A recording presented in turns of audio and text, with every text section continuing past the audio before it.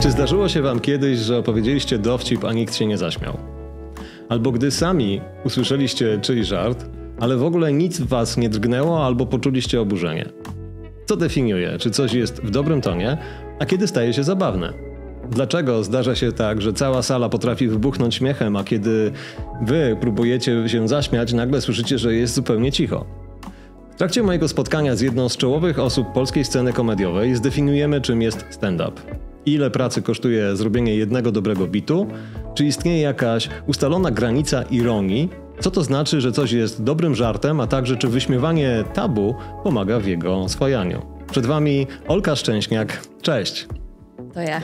I widzisz, jak ładnie to wyszło. Fajnie wyszło, nie? Ten początek taki. No właśnie. W, bez spiny, no zupełnie właśnie. na luzie, siódma próba. Mega pozytywnie, bardzo mi się podobało. Podobało ci się? Tak. A mnie się podobało wczoraj.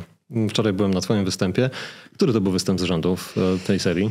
O Jezu, nie, nie wiem, ale rok występuję już z tym programem. Tylko on się trochę zmienia. No bardzo się zmienia, bo cały czas nad nim, nad nim pracuję, więc y, już widziałeś taki efekt bliższy końcowi. Jest rzeczy, że to cały czas powstaje, cały czas doskonalisz no, ten cały materiał. Cały czas tak, ja jestem, jestem świrem na tym punkcie i, i, cały czas mi coś tam nie gra, cały czas muszę go doprawić, wiesz. Ja go jeszcze będę grała przez y, pół roku przynajmniej mhm. i myślę, że do ostatniego występu on się będzie zmieniał.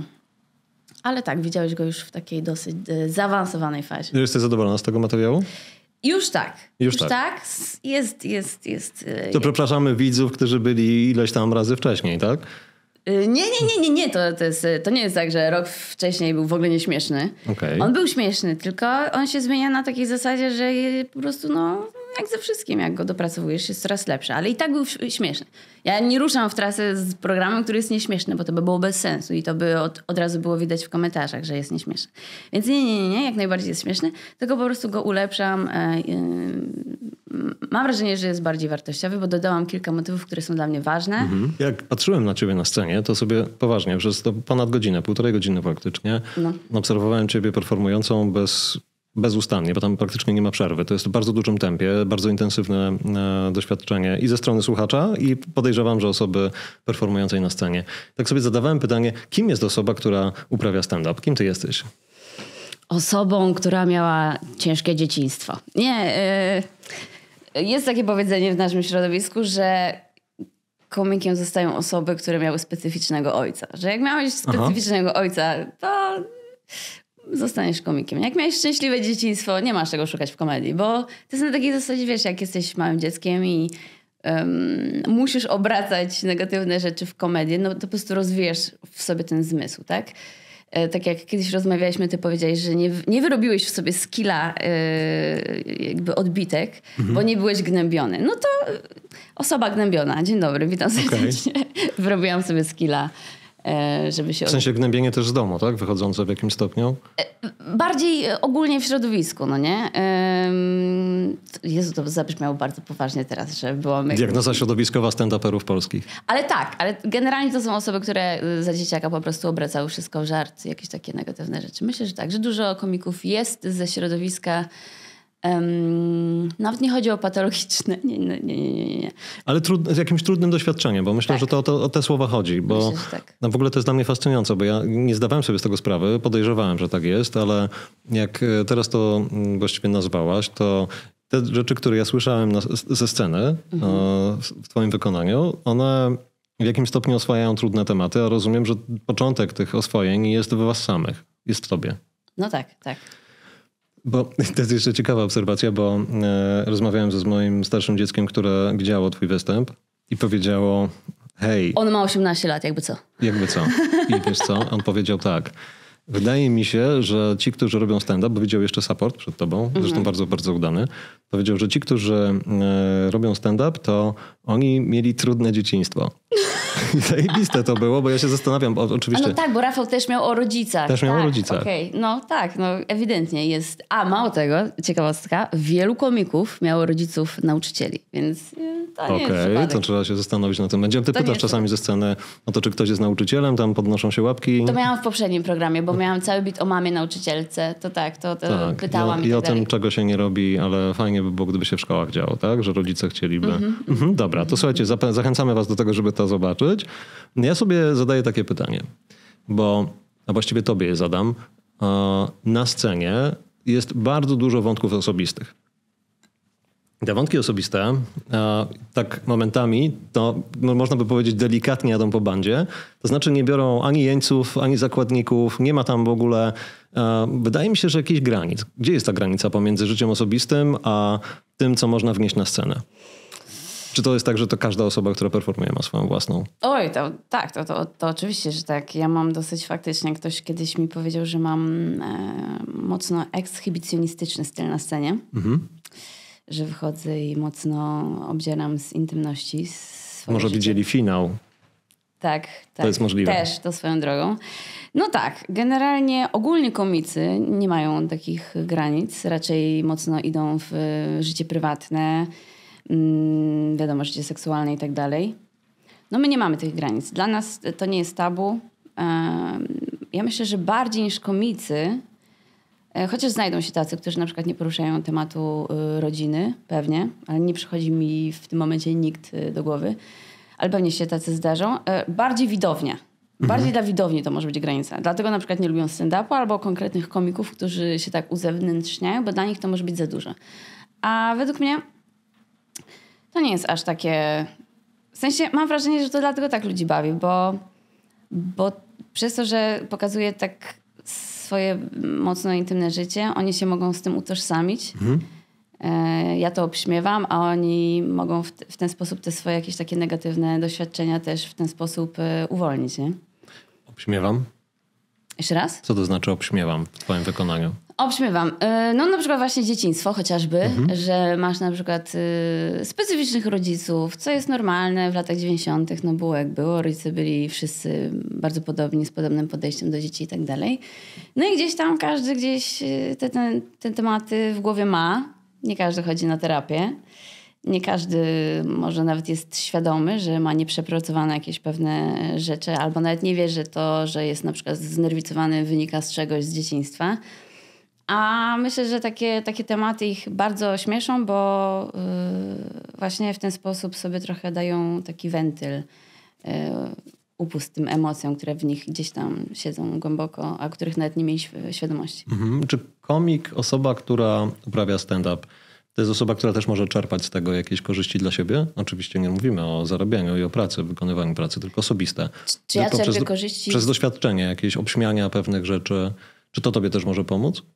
No na maksa. To jest, mówi się, że stand-up to jest taka trochę autoterapia, nie? Że wychodzimy, Aha. opowiadamy o tym. To tak jakbyś właśnie był na grupowej terapii. Cześć, jestem Ola. Mhm. Miałam takie, takiego tatę, miałam takie, takie doświadczenia.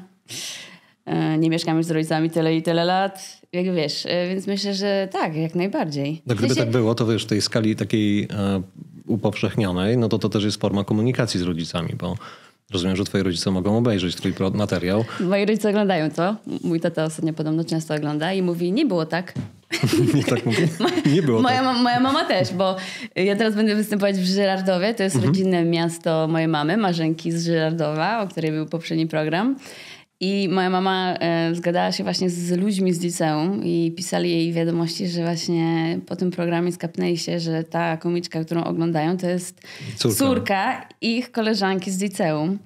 I bardzo im się podobało i mówią, że, że, że mega, mega, totalnie cała marzenka. I moja mama mówi, jak, jak cała marzenka? Ja tak nie mam, nie? Więc centralnie y, tu przychodzi y, ta, jak to się nazywa, że rodzice nie pamiętają, y, co się działo, że się wypierają, jest jakieś No tak, tak, jest takie określenie. Można tak powiedzieć, że jest wyparcie. Ale... Wyparcie, no. No tak, ale Więc też... Oni się śmieją z tego, w sensie mhm. mam wrażenie, że nie każdy wątek ich bawi. No to Myślę, dobrze że mój chyba, ojciec nie? nie lubi... Czemu? No bo ja rozumiem, że to jest twoja osobista też jakaś forma komunikacji. No bo no. jeśli chcesz im przekazać coś, co jest bardzo trudne, i, bo tak chyba jest, że Tego programu rozwojowo... nie słyszeli. Nie słyszeli. Jeszcze tego nie. No, no Zobaczą w Wszystko przed państwem. Zapraszamy, świetna sprawa. Mm. Uszy czerwone. Mm, w każdym razie, jak wypowiadasz różnego rodzaju treści, inaczej, jako nastolatek, e, nastolatkowie mają czasami raz, raz na jakiś czas taki szalony pomysł, żeby ponaprawiać relacje z rodzicami, a najlepiej im wszystko wytłumaczyć. I tak e, wygarniają od A do Z i liczą na to, że właśnie zmienią świat. Mhm. Po czym okazuje się, że zderzają się często ze ścianą, bo e, słyszą, ale tak nie było. Mm, albo nie, nieprawda. My zrobiliśmy wszystko, co mogliśmy zrobić najlepszego dla ciebie. Czyli nie ma włączonego trybu słuchania. No, rozumiem, że jeśli jest jakaś taka, nazwijmy ją trochę wspólnym mianownikiem traumy, wspólne doświadczenie jakichś przeżyć trudnych u osób uprawiających e, stand-up, nie wiem czy wszystkich, prawdopodobnie jakiejś nie, części, nie jakiejś części, no to rozumiem, że dzięki temu, że mogą się tym podzielić, oczywiście przed grupą, nazwijmy to sobie grupą, to z jednej strony same oswajają, a też dają szansę na przykład tym dojrzałym już rodzicom, żeby mogli się wsłuchać jeden, drugi, trzeci, czwarty raz. Może zastanowić? No tak, nawet y, czytam w książce do psychologii nie, to nie była książka do psychologii. To była książka psychologa, ale on omawiał właśnie temat humoru. Mhm. I tam był właśnie wątek taki, że poprzez śmiech możesz y, przedstawić właśnie mm, bardziej przyswajalnie trudne tematy. Mhm. Dlatego właśnie między innymi mm, taka forma może dotrzeć do rodziców, ale to też bo teraz wychodzi na to, jakbym ja miała bardzo traumatyczne dzieciństwo. Tam ludzie już w głowach mają, że nie wiadomo, co się działo. Zaraz że... im to wszystko porozkodowujemy, oczywiście. Dokładnie, nie, nie, nie, spokojnie. Ale mamy ich uważność, podejrzewam, tak, że, że nas słuchają Ja robię teraz. 10 lat stand po to, żeby rodzice mnie usłyszeli. To nie, to nie o to Ja to zawsze bardzo lubiłam bawić ludzi, bardzo mi to zawsze sprawiało przyjemność. Jak byłam małym dzieckiem, to i ktoś płakał, albo było jakieś trudne, albo był smutny, to zawsze jakby y, pajacowałam, nie wiem, wygłupiałam się, żeby te osoby rozbawić i sprawiało mi to przyjemność, po prostu. Tak miałam od zawsze i, i dlatego to robię, dlatego robię stand a nie dlatego, że mam jakąś misję, żeby porozmawiać z no rodzicami. No a pewnie, ale, ale czytałem gdzieś, że po twoje początki mm, wywodziły się z tego, że robiłaś e, takie prywatne wśród znajomych opowi- tak, no. opowiadanie no. o tacie chyba, nie? E, no tak, bo tata to jest dosyć... E, wdzięczny temat. Wdzięczny temat. To jest kopalnia żartów. Ja tam nie muszę nawet za bardzo dodawać. Ja po prostu opowiadam, co się wydarzyło. Tak jak ta historia z paralizatorem z mhm. mojego z mojego programu. Czyli Ona, to się wydarzyło naprawdę? To się wydarzyło. To, jest, to brzmi tak absurdalnie, że no ludzie tak. mają tak, dobra, wymyślę, ale to się naprawdę wydarzyło. Właśnie o to chodzi, że mój ojciec... Świetny, naprawdę. Tak odwala, że, że ludzie myślą, że ja te historie wymyślam. Mhm. To, jest, to jest najśmieszniejsze w tym wszystkim, że ludzie myślą, że to, to nie mogło się wydarzyć a on to robi, no. Więc, y, no, ale wracając jeszcze do tej książki. To masz muza właściwie takiego Oj, swojego. tak, niekończąca się, niekończąca się muza, dokładnie, e, inspiracja. E, chodzi o to, że właśnie, e, bo też jak zaczynałeś mówić, to mówiłeś o tym oswojeniu tabu. E, no to tak, no to właśnie po to poruszamy te trudne tematy, ponieważ Niektórzy komicy nie są fanami na przykład poruszania trudnych tematów, mhm. bo mają podejście takie, no dobra, ludzie przychodzą po robocie, chcą się pośmiać, chcą się wyluzować, zrelaksować, a ty im dajesz jakieś ciężkie tematy na głowę. No ale właśnie za pomocą komedii e, najłatwiej przekazać ludziom trudne tematy, bo generalnie ludzie nie chcą słyszeć trudnych tematów, a, a komedia jest takim fajnym wentylem, że może ktoś posłucha i może coś dla siebie wyniesie i łatwiej mu będzie to przyswoić, niż jakby podejść do tematu na poważnie, no nie? Mhm. Powiedziałaś o tym, że mm, to zdarzenie z paralizatorem że ono się wydarzyło naprawdę, no to, to natychmiast pobudza mnie do zadania ci pytania, gdzie jest ta e, granica pomiędzy kreacją i tworzeniem, bo wiadomo, że jednak wy funkcjonujecie trochę jako aktorzy, musicie odegrać pewne sceny, też jest tam dużo pantomimy, trochę, trochę takich zachowań, które nagle są zaskakujące dla ludzi, wprowadzają ich w jakieś za, za, zamieszanie. Czasami się pojawiają jakieś rzeczy zupełnie znienacka, które też są fantastyczną, abstrakcyjną formą żartu. Um, Jaka jest granica pomiędzy tą częścią kreacji artystycznej, a, a tobą na scenie? U ciebie konkretnie, no bo my nie wiemy jak u innych osób. W sensie. Gdzie ile, jesteś, do jakich proporcjach mniej więcej jesteś aktorką, a na ile, a na ile sobą? Bo to od razu... Aha, w tym sensie. No tak, jestem na pewno wyolbrzymioną wersją z siebie na scenie, ale nie każdy tak ma. Mhm. Niektórzy są po prostu wychodzą, mają taką bardzo flegmatyczną postać i tacy są na scenie, jak dokładnie tacy prywatnie są. Yy, ja mam na pewno bardziej, no mam wyolbrzymioną e, siebie, jestem bardziej ekspresyjna, jestem bardziej energiczna, Um, ale generalnie zawsze jak opowiadałam, nawet jak jeszcze nie występowałam, jak ja coś opowiadałam, to i tak się wcielałam w postaci. Więc to nie jest coś, co ja zrobiłam na scenie, że to mhm. dopiero wtedy zaczęłam tak robić. Ja zawsze tak opowiadałam historię. Ale wiadomo, że z, przez to, że robię 10 lat stand-up, to robię to bardziej, mocniej i, tak dalej. Ale i tak jakby to zawsze było wcześniej. Więc to można powiedzieć, jest jakaś część mnie. Okej. Okay. W sensie, jak zawsze jak opowiadałam coś, więc nie, myślę, że to jest... No to jesteś przed występem? Jak długo czasu musisz się przygotować do tego, żeby złapać taki, takie skupienie tuż przed wyjściem? Żeby trochę... Myślę, że tak pół godzinki. Pół godzinki. Zwykle jeszcze wcześniej gadamy o czymś z supportem. Mhm. I tak no i potem go- support wychodzi, nie? Też na jakieś 15 minut. Tak, ale to ja już, już, już się raczej nie przygotowuję, tylko raczej się staram rozluźnić, albo właśnie w zależności od tego, czy jestem mm, zamulona. Jak jestem zamulona, to się biję po nogach na przykład, żeby się pobudzić. O, ciekawe. Tak, żeby sobie pobudzić. Sensoryka cała się kłania, od razu już tak, psycholodzy. Tak, tak, tak, tak. tak. No, biłabym się po twarzy, ale nie chcę Nie, nie, bo make-upu, będzie, że masz rumieńce i- czerwona. No, Tak, dokładnie. że się czerwienisz. Więc biję się po, po całych nogach, żeby się pobudzić i w ten sposób się No przygotowuję. tak, no bo do- dojeżdżasz do miejsca, w tym miejscu rozumiem, że robisz próbę, to trochę trwa, ale też po drodze zdarzają się typowe zdarzenia typu, nie wiem, korki, jakieś gałganeria na drogach i, i też musisz to zostawić poza sceną, żeby móc wejść w pełną rolę. Tak, albo czasami na przykład są jakieś perypetie z technikami, co też dodatkowo... Z technikami, tak, było wczoraj trochę na Z ten technikami, temat. tak. To jest... y, Nie wiem, czy chcesz, żebym o tym powiedziała. Nie, zaprosimy ludzi, żeby przyszli, posłuchali. Myślę, że nie A, okej, znaczy nie będę opowiadać żartów, tylko o, o tym, że czasami jest tak, że y, przyjeżdżamy i technicy są bardzo niemili Mhm. i próba jest bardzo stresująca, mm, bo są nieprzyjemni, ale i to zawsze nie jest fajne, jak przyjeżdżasz. Częściej mężczyźni to są? Się... Tak, w większości przypadków bardzo rzadko jest kobieta. Bardzo, bardzo... Okej, bo jednak zdradzę jedno słowo, że wczoraj wybrzmiało dosyć mocno to, że oni mają taki wielkościowy, wyższościowy stosunek do ciebie, dlatego że widzą kobietę. Przeważnie tak, jak rozmawiam z męskimi komikami, to oni raczej nie mają takich sytuacji. Więc yy, raczej częściej się to zdarza u stand-uperek, bo jak gadałam z dziewczynami, to u nich to też jest bardzo częste, że przyjeżdżamy i... Ale jest coraz lepiej. Jest naprawdę w większości przypadków, jest młoda ekipa i oni są naprawdę w porządku. Mm, no ale tak, jak się zdarzy tak, że jest nieprzyjemna próba, to to trochę wpływa na występ. Ja muszę się uspokoić, bo... To jak... wtedy nie ma już tego e, Bo to już nie jest, nie, nie, nie, już wtedy się nie muszę pić, już nie muszę pić kawy, nic nie muszę robić. E, właśnie bardziej się uspokoić, bo jak się za bardzo zdenerwuję, ale nie tak pozytywnie, że się pobudzę, tylko tak się zdenerwuję, że jest mi trochę przykro, to muszę się uspokoić, bo potem wychodzę na takiej negatywnej energii, to nie jest fajne na scenie dla ludzi. Mm, Okej, powiedz mi, czy w takim razie idąc tą kalką e, łatwo czy ciężko jest kobietom odnaleźć się na polskiej scenie stand-upowej? To jest pewnie zależne od y, osobowości.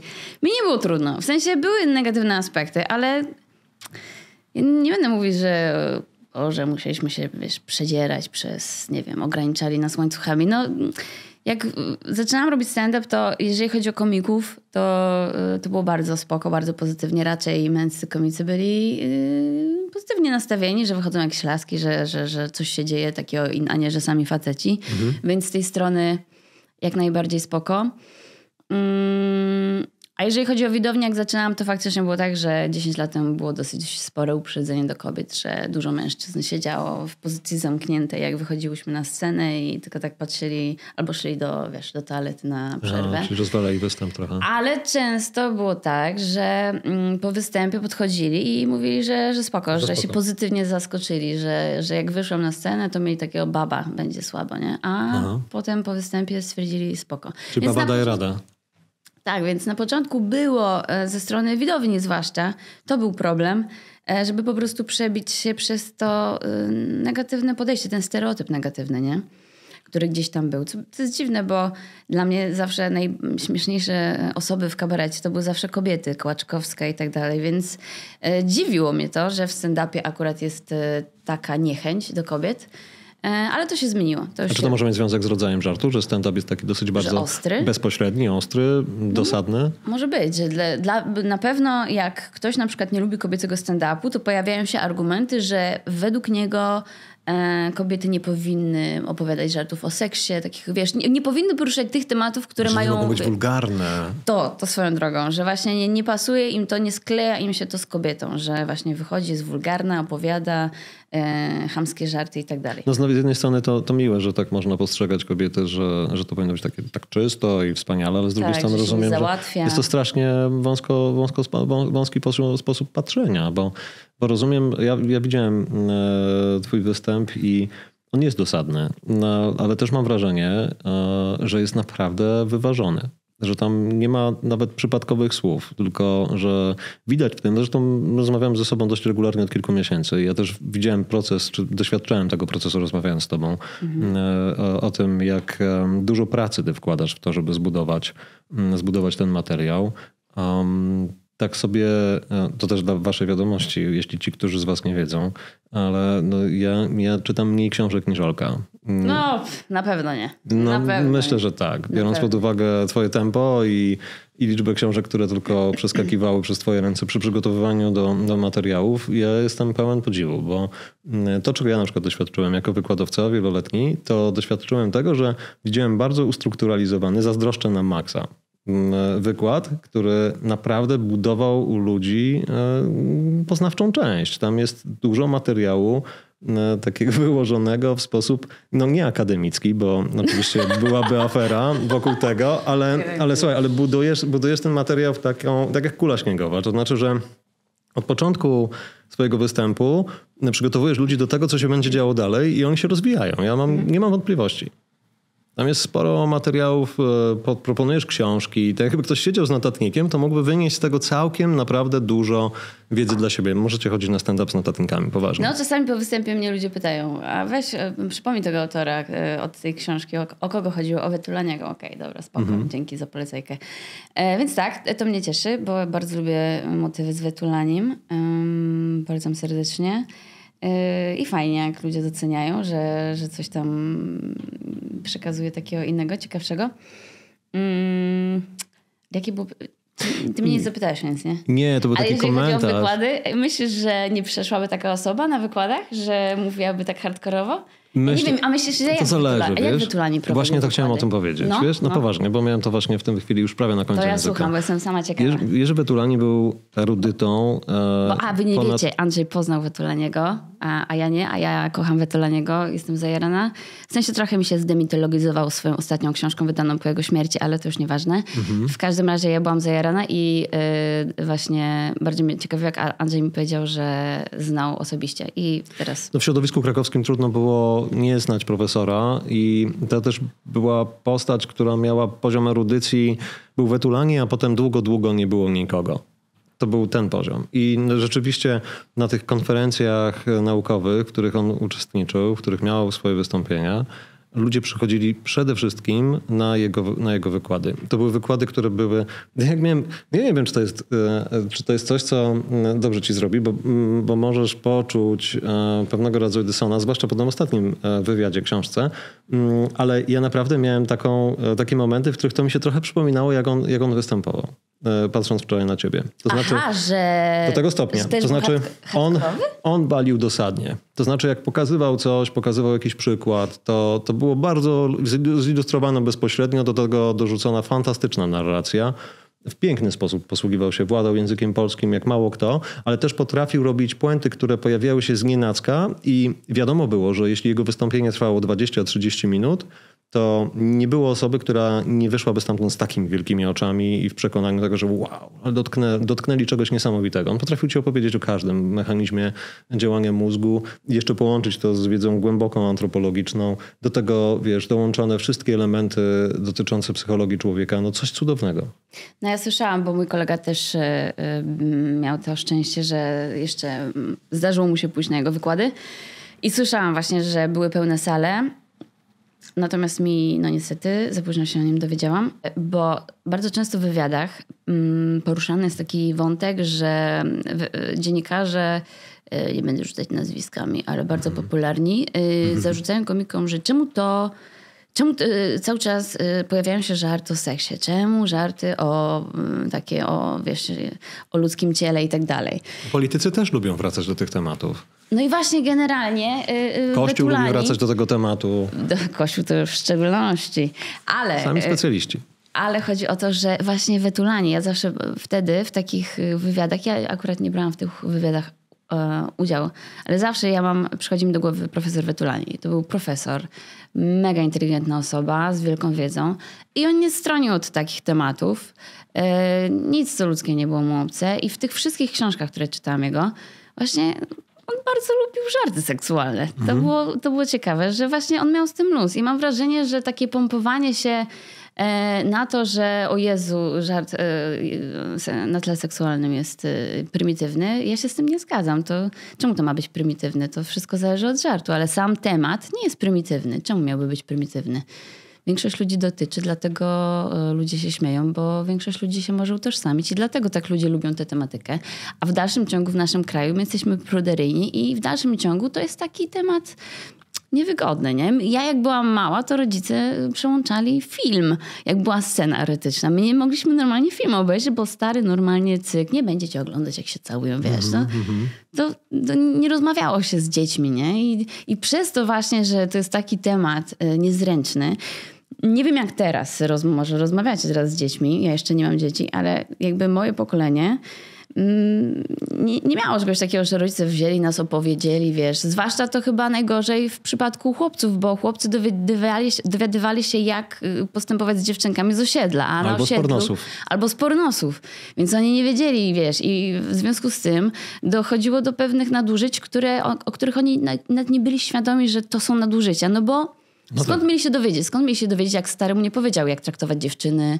No, stary prawdopodobnie też nie wiedział. Stary też nie wiedział, nie? Więc y, uważam, że ten temat y, nie jest prymitywny i myślę, że jak najbardziej powinien być... Y, jest potrzebny. Jest potrzebny, żeby ludzie dowiadywali się, żeby ludzie się nie wstydzili o nim rozmawiać. O.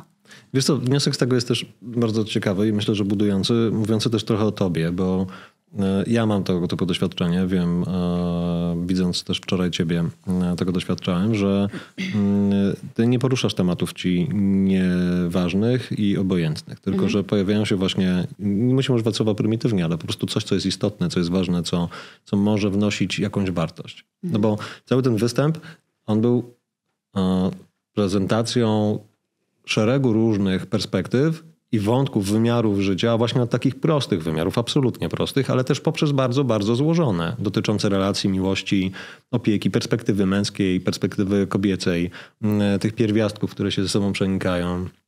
Takiego bardzo dużego e, udomowienia właściwie trudnych, trudnych wątków i stąd też ta hipoteza pierwotna, że my rozmawiamy o oswajaniu tabu. Ty mówiłaś o obśmiewaniu, ale ja, ja tak myślę cały czas o tym, że e, poprzez śmiech, którym wiemy, że możemy robić bardzo dużo rzeczy pozytywnych, możemy redukować stres. No ja muszę powiedzieć, że po półtorej godzinie śmiania się, a ja nie mam często y, takiej reakcji, żeby śmiać się na głos, y, tylko też będąc w tak dużej grupie. No, no, w tej dużej grupie to się udziela i to jest niesamowite doświadczenie, że w którymś momencie puszcza, puszczają te kołki, o których mówisz z tyłka i ludzie zaczynają się świetnie bawić a potem puszcza ich stres. Y, y, śmiech redukuje stres, jest bardzo zdrowy, wzywa endorfiny. I rozmawialiśmy kiedyś o tym, że jest y, jedno z najzdrowszych sposobów właśnie, żeby się pobudzić Pamiętam. pozytywnie. Bo mhm. człowiek generalnie no, musi się jakoś zaspokoić, tak, pobudzić i tak dalej. I najczęściej najłatwiej sięga albo po coś słodkiego, mhm. albo po alkohol, albo mm, po coś jeszcze innego, tak papierosy i inne używki. I to jest jakiś sposób wywołania w sobie tych emocji, ale ma skutki uboczne, tak? Nawet sport, który też jakby wyzwala endorfiny, może mieć skutki uboczne, bo może sobie rozwalić kolana i tak dalej, i tak dalej. A śmiech jest chyba jedną z nielicznych rzeczy, która nie ma tych skutków ubocznych. Jest radość, szczęście w czystej postaci. Mhm. Dobrze, mówisz o mechanizmie regulowania emocji. Tak, tak o tym i, i o tym, tak, tak, tak. Ja mam to w głowie, więc ja sobie pozwolę to, to nazwać, a wy na pewno słuchając naszej rozmowy mm, szybko połapiecie te wątki, jak to pozbierać można do kupy. Bo rzeczywiście um, używanie substancji może powodować no, uruchomienie nałogowego regulowania emocji, czyli takiego dominującego, niosącego ze sobą też gigantyczne koszty. I mamy rzeczywiście w tym pełną zgodę, że śmiech jest, czy właściwie oglądanie komedii, oglądanie występów. E, w tym w tej chwili e, naszym e, tematem głównym jest stand-up. Jest jakąś formą takiego pozytywnego doświadczenia, które może pomagać. Ja czytałem o badaniach, które podkreślały znaczenie śmiechu w leczeniu nie tylko epizodów depresji, ale także wspierających osoby na przykład z nowotworami. O, że redukcja stresu. Ogólnie przyjmuje się, że każde obniżenie stresu osób chorujących na choroby onkologiczne przynosi efekt. No i tutaj jest cała spora część tych takich akcji, które znamy też ze Stanów Zjednoczonych, w których komicy mm, udzielają się w kampaniach dla, dla osób chorujących, zwłaszcza z tymi potężnymi chorobami wymagającymi nawet podejścia paliatywnego, gdzie śmiech jest jakąś formą poprawy jakości życia, zmniejszenia napięcia, zredukowania całego tego stresu, którego doświadczają w trakcie chorowania. Tak, jesteśmy ważni. Powinniśmy być zwolnieni z podatków. Tak jest moje zdanie. No i tego nie wytniemy, wrzucimy to w roleczkę. Właśnie po to jest ten podcast, żebyśmy byli jest. zwolnieni z podatków. No tak, Tak. zaczyna się. Dajemy ludziom tyle temat. szczęścia. W sumie jesteśmy lekarzami. Mog- można tak powiedzieć, że jesteśmy lekarzami. Lekarzami dusz? Dokładnie. Dokładnie. Olka Szczęśnik. Leka- lekarka dusz. Lekarka dusz. No dobrze, możemy, ale słuchaj, ja wymyśliłem tą nazwę, więc poproszę jakieś 2% na skojarzenie z Już, rynkiem. już, już, zobacz. Wszystko, interesy, dobrze. Robimy interesy przy okrągłym stole. Monetyzacja, no. Okej, to teraz e, trochę, mm, trochę inaczej. E, obśmiewasz na scenie wiele tematów, w tym tematy osobiste.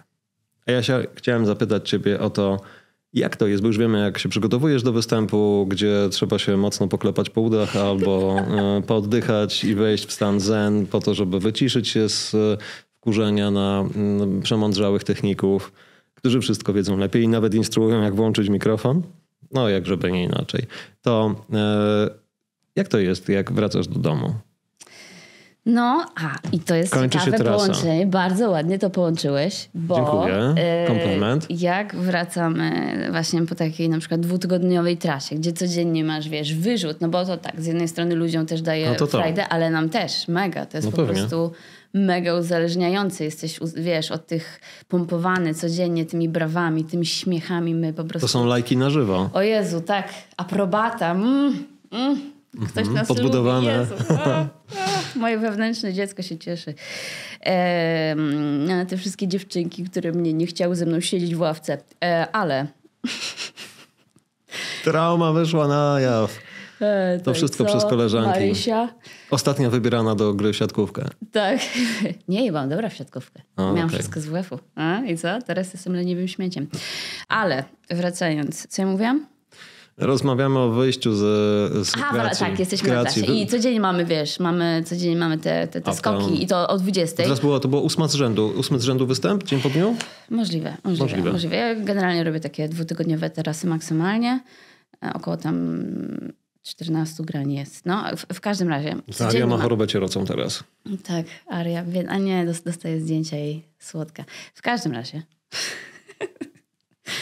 e, mamy codziennie te wyrzuty. Wspomniałaś psa i się uśmiechnęła Buzia, tak? Codziennie No. mamy te wyrzuty. A, a, propos, a propos wchodzenia w słowo. E, Codziennie mamy wyrzuty tych właśnie... Nie wiem, czy to też są endorfiny z naszej Mogą strony. być, pewnie. No to jest cały... cały... I wiesz, i o 22 kończymy występ. Mhm. Zanim mi wygasi, ja idę o pierwszej w nocy spać. Mhm. No to tak jakbym trochę, wiesz, ćpała, e, wiesz, mm, wieczorem. Ja nie muszę alkoholu pić ani narkotyków, bo to trochę takie, wiesz, ćpanie śmiechów daje podobny efekt. I rano, no rano powiedzmy, komicy raczej rano nie wstają. Ale wiesz, potem zjeżdżasz na bazę i nagle jesteś taki wypłukany z emocji, nie? Nagle właśnie tak jakbyś by- po takim długim piciu. Czy Takim trochę kreszu, nie? Taki drugie- zjazd. No, jest coś takiego, że, że ja to najchętniej bym nie wychodziła przez tydzień nigdzie z domu, tylko siedziała, wiesz, na, na kanapie i oglądała seriale. Że tak potrzebuję takiej Mhm. Czyli takiego izolacji. jesieniarą wtedy jesteś, jak Jest już wracasz, jestem jesieniarą. wracasz z trasy. Tak, i, i, i właśnie bardzo często jest tak, że partnerzy komików mają mm, pretensje do komików, albo że generalnie się dziwią, że my zjeżdżamy i jesteśmy wypłukani z emocji, nie? że nie Aha. jesteśmy duszami towarzystwa. A, że jesteście na zewnątrz bardziej niż, tak, tak, niż w tak. domu. Komicy mają problem, bo Czyli co, w domu jesteś nudziarą? partnerki... Trochę tak, trochę tak. Ale pewnie zaraz po tym, po trasie, a potem to się odbudowuje. No to nie jest też tak, że ja jestem w domu cały czas. Żarciki, nie? Ale... Zaraz, tak. zaraz do tego dojdziemy. Yy, no, ale ciekawostka, Tak. bo na przykład męscy komicy, jak yy, to właśnie zjeżdżają na bazę po dwóch tygodniach, to ich kobiety myślą, że wiesz, że się rzucą na nich i będzie, wiesz, yy, gęsto. A, a tak nie jest, bo są wypukani z emocji, a ich partnerki pewnie myślą, że no, A, że w trasie działo się się na działo. trasie, Że w skoro trasie. teraz nie ma ochoty. A, a to właśnie nie jest to, nie? To, to jest po prostu, że yy, znaczy pewnie niektórzy tak, pewnie niektórzy tak, ale raczej to chodzi o to, że właśnie my nie mamy ochoty. Jak wracamy z trasy, to najchętniej po prostu byśmy się, wiesz, wyizolowali i tak, a nie Czyli tak. jak jedziesz na dwa tygodnie w trasę, to nie macie trzy. No, może tak, Tak, być. można by było powiedzieć. Może tak być. No dobra. A, ale skoro bierzesz na scenę swoje życie osobiste, ono staje się przedmiotem e, różnych żartów, to jak to jest w życiu osobistym? Czy, no ja na przykład doświadczyłem twojej błyskawicznej riposty raz na jakiś czas e, z partyzanta e, rozśmieszenia się lub mnie, w zależności od okoliczności, e, ostrym, ciętym słowem. Jak to jest w życiu osobistym? Czy łapiesz, tniesz żartami w okolicach bliskich? Czy to jest tak, że trzeba być zawsze czujnym? Bo Olka już tutaj, Tak. bo, no, bo to, to wiecie, nie wiecie, na pewno, się, na pewno się domyślacie. Podejrzewam, że nawet w tej chwili czerpiesz inspirację do potencjalnych bitów, bo przyglądając się, oglądając różne rzeczy, bo to jest chyba cały czas ten skaner włączony, nie? A tak, to na pewno, że my mamy cały czas mózg nastawiony na szukanie żartów. To tak, jak ja czytam książkę, to patrzę, czy ona mi się przyda pod kątem żartów. Aha. Że jak, no nie, ja nie czytam opowiadań, ja nie czytam jakieś, wiesz, ja czytam głównie jakieś takie właśnie cieka ciekawe rzeczy, z których mogę coś wyciągnąć na scenę. Em, albo mi się przyda jakiś mechanizm na No to Wetulani tutaj wchodził cały na biało ze swoimi obserwacjami. No psychologia to jest po prostu idealne do, do stand-upu, e, więc dlatego najczęściej czytam e, książki o tej tematyce. E, ale tak, mamy cały czas skaner włączony i jak na przykład coś przeżywamy, dlatego ja nie wyobrażam sobie związku e, z komikiem, ponieważ jak e, ja jestem gdzieś z moim partnerem i coś przeżywamy, no to z automatu to jest moje, nie? To ten żart, na który, y, który się wywiąże sytuacyjny jest dla mnie. A jak przeżywasz coś, akurat jest kilku komików wokół, to potem jest tak, jak kto to bierze. Bo my cały czas po prostu jesteśmy nastawieni na wyciąganie ze wszystkiego żarty i często jest tak właśnie, że siedzimy w iluś komików, coś padło śmiesznego, coś się wydarzyło i tylko tak po sobie patrzymy. Kto i tak- zanotuje? I tak, mogę to wziąć? Takie tak, do podziału, tak, tak, tak, tak. Czyli życie osobiste jest też twoją dużą inspiracją. No i jak to się, Największą, jak się odnajduje twój partner w tym, w tym takim świecie? Dobrze, on bardzo lubi stand-up. On generalnie oglądał stand-up zanim, zanim mnie Mhm. poznał. Tak, my się poznaliśmy, bo on przyszedł na mój stand-up, ale on już wcześniej znał komików, bo już chodził i, i wcześniej się im, improwizacjami interesował, więc Mhm. on generalnie, e, to nie jest tak, że on przeze mnie poznał stand-up. E, I on też ma bardzo duże poczucie humoru i ma duży dystans i czasami jest coś takiego, że mówisz, żebym nie mówiła, ale nie dlatego, że to jest dla niego zbyt intymne, bo on też już Mhm. Tylko, że przekroczył czuję, że to może nie siąść na przykład. tak, że według niego nie, nie, Nie. to jest słabe, nie. Więc to bardziej w tej kwestii. Czyli widzi ognik w oczach i mówi, nie, tak, daj spokój. Już, że on już tyle widział, wiesz, on chodzi na moje Mhm. występy, mm, zwłaszcza jak testuje nowy materiał, potem razem oglądamy te nagrywki z tych testowań i razem to analizujemy i on czasami... I to nie jest tak, że jak on mi mówi, dobra, to wywal i ja wywalam, bo czasami jest tak, że jemu się podoba żart, który nigdy później nigdzie nie siada, nie? I jemu się ten żart podoba, a chcę, żebym wywaliła żart, który siada wszędzie, nie? Mhm. Więc to nie jest tak, że ja go słucham, ale, ale bardziej pod tym kątem ma jakby mm, e, wtrąca się, żeby coś zasugerować, a nie, że mówi nie, tylko chociaż nie. Ostatnio miałam jakiś żart z jego mamą i jakiś taki sprośny żart z jego mamą, to powiedział, żebym tego nie mówiła. No. Okej. To to jedna taka sytuacja No tak. była, a tak to a tak to nie, tak to nie. No to jesteście, jest, znaczy w ogóle nie, nie tylko z twoim partnerem, ale w ogóle z bliskimi osobami. Mm, Czy nie zmieniła się ich perspektywa i sposób komunikowania się z tobą? Czy oni stali się bardziej uważni, no, wiedząc o tym, że jak ktoś chlapną albo z czymś się odsłonią, to że to może stać się przedmiotem e, późniejszego żartu?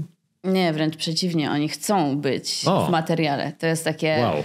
Możesz to wziąć, możesz to wziąć. Bardzo często jakby ludzie opowiadają jakąś w ogóle nudną historię i mówią, możesz to wziąć do programu. Świetnie, to jest dzięki bardzo, ale, ale nie, ludzie raczej chcą być. To nie jest tak, że raz, przepraszam, mój wujek mnie poprosił, żebym e, tak, żebym nie, nie mówiła, bo e, mieliśmy sytuację, gdzie właśnie... No dobra, to jest... To nie Rodzinna mówić. sprawa. I, rodzinna sprawa. To, i według mnie Aha. moja granica tam nie leżała, nie? Rozumiem. Ja bym to powiedziała. Ale wujek się zestresował i powiedział tylko, bo razem byliśmy gdzieś na wakacjach i z jego dziećmi i ja już po prostu miałam w głowie żart o- z nim i z jego dziećmi i on tak, jak wracaliśmy samolotem, to tylko do mnie podszedł taki skulony i mówi tylko proszę cię Ola, Odpuść. nie, nie, Mhm. nie opowiadaj o tym. Dobra. Więc, ale tak to, to nie, tak to raczej rodzina ma luz i wręcz przeciwnie, raczej ludzie chcą być w programie. To jest y, ciekawe, że raczej chcą być. Czyli też czują się przy tobie bezpiecznie. Ze sobą. Najwyraźniej. Albo Znaczy, że- mają parcie na szkło. Mogą mieć parcie na szkło, a może też, tak rzucam hipotezę, może zrozumieli też, e, czemu służy twój stand-up. Bo ja dostrzegłem tam kilka warstw. No, Proszę, słucham. Proszę, słucham? Jakie warstwy? A, dokarmiamy teraz. Y, Dokarmiamy narcyza Płynie, scenicznego. leci, leci, prowadzę. leci. Słuchaj, no, y, ale nie, zanim do tego dojdziemy, bo, to, bo to może być ciekawe, jako podsumowanie, to ja chciałbym jeszcze o tym żartowaniu e, w domu, bo y, o tym, że oni się, rozumiem, że mniej obawiają twojego wyciągnięcia czegoś na scenę, to jest w ogóle interesujące bardzo, E, ale chciałem zapytać ciebie, czy ty żartujesz dużo do bliskich? Z nich w trakcie? Tak, tak. Jak, on, i jak reagują? Zaczęło się od tego, że ja w swoim gronie najbliższych żartowałam i parodiowałam ich, no bo ja nie miałam jakoś super dużo znajomych nigdy, więc no rodzina była pierwszą. No nas, nas było dużo w domu, bo wiesz, cz- czwórka dzieci, Mhm. rodzice, więc najczęściej parodiowałam rodziców po prostu i jak y, ojciec coś palnął, no to ja od razu po prostu zaczynałam się z niego śmiać i go parodiować i mój ojciec kiedyś do mnie, nie nudzicie? Takie pajacowanie? Ale to tak, bo on, on, matka ma mega dystans. Mama naprawdę, ona, słuchaj, ciekawostka, moja mama przez kilka lat, jak prowadziłam scenę w Częstochowie, czyli po prostu miałam taki klub dogadany i zapraszałam komików co miesiąc. Ja to prowadziłam, oni mieli pełne programy, nie? Czyli tak jakby oprócz jeszcze Rafała, tak jak wczoraj występował przede mną Grupa Rafał, cała, tak? to jeszcze była, był dodatkowy komik i mm, taki prowadzący, nie? który tam właśnie rozgrzewał, wprowadzał i tak dalej. No i ja właśnie byłam taką osobą i moja mama stała na biletach w, na tej scenie. Wpuszczała ludzi. Sama chciała, sama bardzo chciała tam, wiesz, być. E, I oglądała stand-upy. Oglądała co miesiąc przez ileś lat stand-upy i ona już miała, wiesz, już wyrobione miała. Marzenka z Żyrardowa. E, tak, Marzenka z Żyrardowa już miała poprzeczkę wysoko zawieszoną. To jest, wiesz, po, po występie oceniała. Okej. No, ten mi się nie podobał. Ten, ten bardzo fajny. Bardzo, Bardzo fajne fajny. żarty, można ale powtarzać. nie, a ten nie. Takie proste, przaśne, nie, nie. To. Więc Marzenka to już jest ekspertem w stand-upie. Okay. Także- To mogłaś z indeksem w ogóle chodzić do niej potem. Tak, z, tak, do tak, tak, tak. Marzenka wystawia, no nauczycielka wystawia tak. oceny ze stand-upu. Siadaj, truje. Siadaj, Warstwa Bardzo merytoryczna. dobrze, bardzo dobrze, truja plus. Bardzo, bardzo słaba warstwa merytoryczna. Y, tak. Więc y, moja mama, ma, moja mama ma na pewno większy dystans do żartowania i zawsze miała większy dystans do żartowania, że, że przyjmowała te żarty i sama też. Ona też pochodzi z takiej właśnie. Ta rodzina z żartowa jest mega bekowa. Że cała ta rodzina, jak pamiętam, jakieś zjazdy z rodziny były mega śmieszne, więc ona po prostu z takiej się wywodzi. A mój ojciec, on lubił żartować, ale żarty o sobie już tak troszeczkę gorzej. No, bo to z dystansem chyba trochę też musi być, nie? No, nie wiem, na czym polegał jego problem. No dobra, to powiem ci z perspektywy widza. Jako widz wczoraj ja sobie pomyślałem, że patrząc też na, słuchając, bo nie widziałem, patrzyłem na ciebie, ale słuchałem osób, które były wokół mnie, to też jest niesamowite. Jak w książkach zapisuje się śmiech, to zapisuje się tako ha, ha, ha, hi, hi, hi, ale ja nawet słyszałem ło, ho, ho, ho, ho, zwłaszcza wtedy, kiedy naprawdę był bardzo mocny, mocna puenta leciała i e, taka... Łohoho, to z Garwolina pewnie. Ło, ho, ho, ho, ho, leciało. Naprawdę, to było coś niesamowitego. Nie? I to takie, wiesz, takie tubalne wręcz. Um, I sobie pomyślałem, że jakie to jest niesamowite doświadczenie właśnie e, trochę inaczej niż w kinie, gdzie ta gęstość raczej żartów nie jest tak duża e, i też chyba mniejsze przyzwolenie na ten śmiech e, otwarty. I patrzyłem na to, co się dzieje z ludźmi, gdzie gdyby ktokolwiek z tych osób stanął na scenie lub stanęła na scenie i musiała powiedzieć o takiej historii, którą ty opowiadałaś, no to pewnie cegła spalona na maksa. Że to nie jest w ogóle temat, o którym chciałoby się mówić, ale ty to mówisz. Mówisz w taki sposób, że większość ludzi w jakiś sposób się identyfikuje. Więcej, potrafisz zadać pytanie, rączki w górę, albo dajcie małe oklaski i, i osoby się ujawniają, co też nie jest bardzo łatwe, prawda? Że nie do końca każdy chciałby, e, nie każda osoba chciałaby mm, ujawniać się ze swoimi różnymi doświadczeniami. I w którymś momencie zaczyna się uruchamiać taka mm, świadomość tej grupy, że uczestniczą w czymś, co jest ich dosyć własnym e, przeżyciem. I dlatego to moja, moja myśl, że bliskie osoby wokół ciebie, jeśli stanowią źródło inspiracji, a widziały ciebie na scenie i słyszeli, słyszały te osoby e, bity, które przynosisz, że oni mogą rozumieć, że to jest coś, co wnosi wartość, że jest potrzebne. Aha, okej, no. Okej, co ciebie... To jest zajebiste. To jest jak w każdym wywiadzie, nie? Zadajesz takie długie, długie, długie, długie pytanie i nagle ktoś Tak patrzy jest. ci głęboko w oczy i mówi tak. Tak jest. I koniec. Zgadzam się. Świetnie. Bardzo ładny wywiód, e, wywód. A podsumowane? Bardzo ładny wywiód. Brawa. Bardzo dobrze, 3 Zgadzam plus. się. 3 plus. Nie mam Tylko nic do dodania, jest, e, wyczerpałeś temat. Wyczerpałem temat. Wspaniale. Powiedz mi, mm, a co ciebie e, triggeruje? Co rusz, porusza cię do tego, żeby e, stworzyć nowy beat? Co się musi wydarzyć? O Jezu. Najbardziej, no, mm, najwięcej żartów bierze się na pewno z, z irytacji. Z irytacji. Z irytacji. Ty musisz się zezłościć na coś? Tak, ale po, potrzeba. Nie, w sumie nie. Niekoniecznie. No nie, no bo na jakieś wątki u partnerzy to nie były iry, irytacją. Eee, Czyli pobudzenia po prostu. no na pewno niektóre motywy tak. W sensie o, y, że coś mnie uwiera w jakiś... Na przykład ten body positive, który wczoraj poruszałam, to to mnie właśnie trochę denerwuje, trochę mnie gdzieś tam dotyczy z No mówisz też o sobie i o tym, że Tak. rzeczywiście to body positivity, e, ono też mocno cię krzywdziło przez lata. W jakim stopniu jako osobę szczupłą, bardzo szczupłą. W sensie, yy, teraz No. ludzie tego nie zrozumieją yy, tak wyjęte z kontekstu. Yy, chodzi o to, że, yy, że tytułem wyjaśnienia, że jak, jak byłam mała, to byłam bardzo chuda, jeszcze chudsza niż teraz. I po prostu... Jeszcze mniejsza niż teraz. Jeszcze mniejsza niż... Nie, byłam cały czas taka się już urodziłam, jeżeli chodzi o wzrost, tylko byłam mniejsza yy, na wadze. Pozdrawiamy Marzenkę z Żołnierza. Cudotwórczyni. Tak, yy, ale i całe społeczeństwo uznawało za obowiązek, żeby poinformować chude osoby, że chude osoby były najniżej w hierarchii ciśnięcia, nawet niżej niż grube osoby. I o to chodziło. Więc to był ten wątek, na przykład, który mnie yy, w jakiś sposób tam gniecie, uwiera i się nie zgadzam do końca z yy, yy, prezentowaną kampanią. Inne rzeczy, które mnie triggerują, to na przykład polityka. Nie mam za dużo o polityce. To, czyli i tak, czyli coś co, cię, coś, co cię uruchamia do pomysłu na beat, na właśnie, czym jest No beat? na przykład w poprzednim programie miałam bardzo duży bit o kościele, tak? Opowiedz, co to jest beat. Bit. Bit to jest em, dłuższy fragment. E, Wątek już- taki, nie? Mhm. Wątek, tak. Wątek o jednej tematyce. Jakby mm, zwykle jest zamkniętą całością, tak? Że, że, że na przykład mam bit o mm, mamie nauczycielce. On się składa tam na przykład powiedzmy z 10 żartów, trwa 5 do 10 minut i to jest bit, tak? Mamy bit o mamie nauczycielce. Więc... I siada albo nie. Siada. I siada.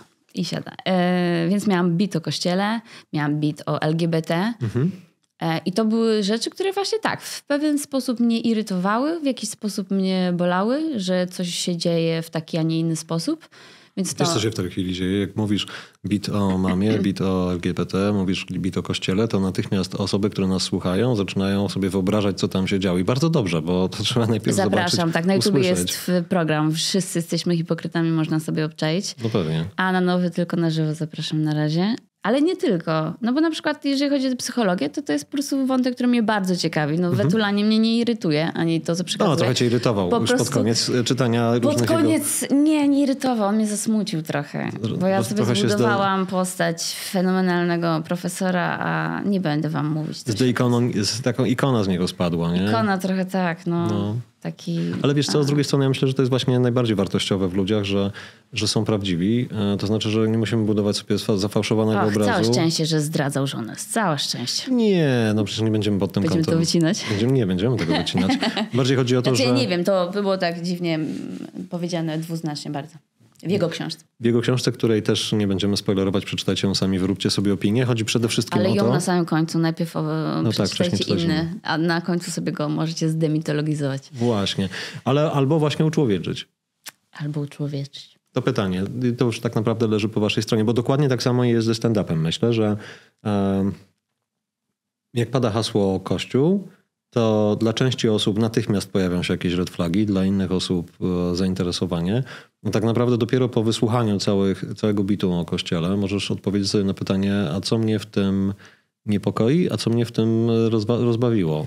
I to jest fajne e, w stand-upie, bo jest zaskakujące. Widzę, że chcesz coś bardzo powiedzieć. Tak, bo y, właśnie jak żart jest wyjęty z kontekstu, to może ludzi mocno striggerować i mocno źle odbiorą. Na przykład ja miałam mm, em, wątek jeszcze w wcześniejszym programie zespół Heisbergera. Miałam cały wątek o LGBT. O homofobii bardziej, o homofobii. Wyśmiewałam homofobię, wyśmiewałam właśnie Marsz Równości w Częstochowie, który miał miejsce i były bardzo negatywne sytuacje. I miałam jeden żart, który był y, jakby, jakby wyśmiewałam sytuację, którą miałam akurat y, z osobą homoseksualną. I jakby ludzie, jak wyjęłam to z tego całego 10-minutowego kontekstu i wsadziłam jako osobny żart na rolkę, czy gdzieś tam Solo na po TikToka, prostu. tak, to ludzie się oburzyli, bo Okej. podłapał to jakiś typ, który jest tam, nie wiem, wizerzystą czy kimś tam. On to odebrał bardzo do siebie. Do siebie. I e, on zrobił ze mnie, nagrywał jakieś tam relacje. Homofobkę z ciebie zrobił. Tak, tak, tak. Nagrywał ze, na, na mnie jakieś TikToki, że ja jestem najgorsza, że jestem szkodliwa. Y, Jakieś influencerki do mnie pisały, wyzywały mnie.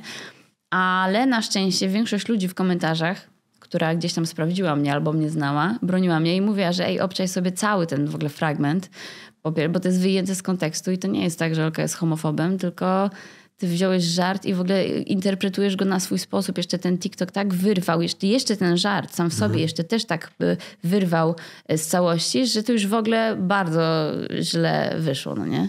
Więc tak, więc y, jak wyrwie się pojedynczy żart, to można, no, No można w hejt wpaść, nie? można, można. A to, to, to, to, miałeś dużo tak, takich doświadczeń, że, do tego to akurat się przyzwyczaiłam. że cię podsmażyło w internecie? Tak, e, radzę sobie z tym już na pewno znacznie lepiej niż e, jak właśnie pierwszy program wrzuciłam, e, który poruszał takie gorsze, znaczy gorsze, trudniejsze tematy, czyli właśnie Kościół, LGBT i tak dalej, to miałam bardzo dużo hejtu. Bo to był taki u mnie skok w karierze w sumie po tym programie, że miałam 26 tysięcy obserwatorów, obserwatorów, a po tym programie przyszło mi 200 tysięcy. I w związku z tym, że przyszło mi też dużo ludzi takich pozytywnych, to przyszło mi też bardzo dużo proporcjonalnie hejtu. Nie aż tyle, że 200 tysięcy hejterów, ale no pierwszy raz się spotkałam z taką mocną falą krytyki, w sensie e, no, ludzie mi wzywali, grozili mi i różne takie. Były groźby. Tak, ale to takie wiesz, no, bardziej, bardziej rzucały się y, w oczy komentarze wyzwające mnie od na, najgorszych. Nie będę tutaj cytować. Jest jakaś bezbronność, bo pamiętam, że jak padłaś ofiarą sextingu i, e, i zrobiłaś... Ofiara sextingu. To się tak nazywa dzisiaj, zostawmy. Nie? To jest bardzo, to ba- brzmi bardzo poważnie. Typ mi wysłał truskawę po prostu. No i tego nie wytniemy. No właśnie, wysłał truskawę, ładnie to nazwałaś. Wysłał truskawę. No to mimo wszystko spełnia to kryteria, po pierwsze przekroczenia granic, po drugie no, dosyć ofensywnego zachowania w stosunku do osoby drugiej. No i teraz mm, ja pamiętam, że podjęłaś działania e, korekcyjne w stosunku do typa i dostałaś za to bana. Na ile? Na 24? No tak, nie, bo ja głupia Ale- jestem. Nie, zapomniałam, że przecież nie można udostępniać takich treści yy, na Instagramie. Mhm. A ja po prostu go udostępniłam z imienia i nazwiska. bo To, to, te wiadomość, że miałam Tak. print screen na tej Niestety wiadomości. truskawa była. Niestety nie, nie wyblurowałam truskawy. Myślałam, że w sumie nie wygląda to na, na nic takiego wulgarnego, bo taka truskawa z góry, z, lo, z lotu ptaka. Myślałam, że będzie git i mi zablokowa- zablokowało mi Instagrama, mm, więc nie polecam udostępniać, yy, ale... Tak, ale to też spoko. pokazuje dużą bezbronność, nie? W sensie e, jedyne narzędzie, w którym można było, rozumiem, że dla ciebie jako dla osoby uprawiającej Ja go potem zgłosiłam i zablokowałam. Nie wiem, co tam się z nim dalej potoczyło, no ale... no powinnaś dostać informację na przykład, co z, tą, co z tym zgłoszeniem się wydarzyło. A, no tak, no nie, nie wiem, nie wiem. Nie ma satysfakcji. Go. Nie wiem. Nie mam tego dużo. To nie jest jakaś nagminna I nie rzecz. zapraszamy. Nie zapraszamy, nie, nie, nie, nie. Kiedyś było tego więcej. Nie wiem, na czym polega to, że to się ukróciło. Ehm, może dlatego, że mam dużo wątków o partnerze, chociaż to wtedy też jakby miałam i nie przeszkadzało im. Ale nie mam już tego. Ja w ogóle zablokowałam wiadomość na Facebooku, bo na Facebooku miałam tego więcej. Aha.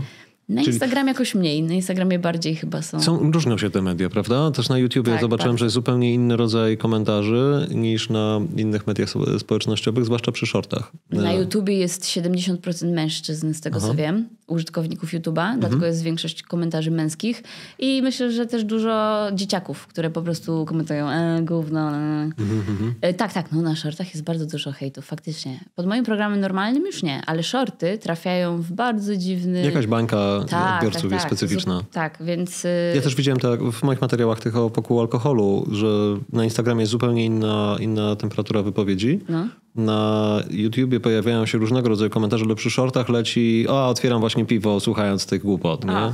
ale się odkaleć odkleił i tego, typu, tego typu teksty. I nagle ja Tak, patrzę i tak. to jest zupełnie Na inna, inna perspektywa hejtu, no. do tego stopnia, że właściwie no wiesz, no, jak się widzi jedną chamską wiadomość na 50, no to Mhm. nat- natychmiast zadajesz sobie pytanie, czy ja czegoś nie zwaliłem. Ale jak widzisz 50 chamskich wiadomości, to myślisz sobie, okej, luz, piszcie sobie. Tak? A No to ja, pewnie. bym- ja bym miała w inną stronę właśnie, że jak jest jeden wyrwany na ileś Nie, ale chodzi o abstrakcję tych wypowiedzi, nie? bo one Aha, są okej. zupełnie oderwane, bo jeśli ktoś mm, patrzy na twój materiał i mówi, a w ogóle nic, nie- nic śmiesznego, to, No to, to tak, jest no bzdura. No, tak. to wiesz o tym, że jak jesteś, robisz to na scenie, masz 500 osób, 1000 osób w sali, e, przed którą występujesz i widzisz, że po prostu No siadło... tego, na rolce też jest y, słuchać śmiechy, nie? A, No. a ludzie piszą, "Pff, nikogo baby nie bawią. No, nuda, nie?